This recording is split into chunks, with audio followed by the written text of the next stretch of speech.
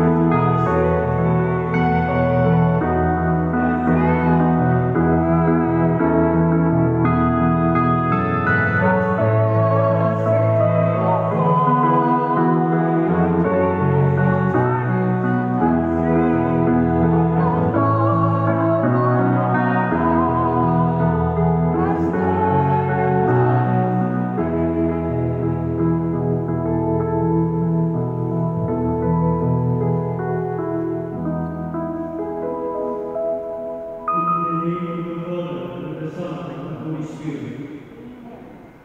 grace of our Lord Jesus Christ and the love of God and the communion of the Holy Spirit be with you all.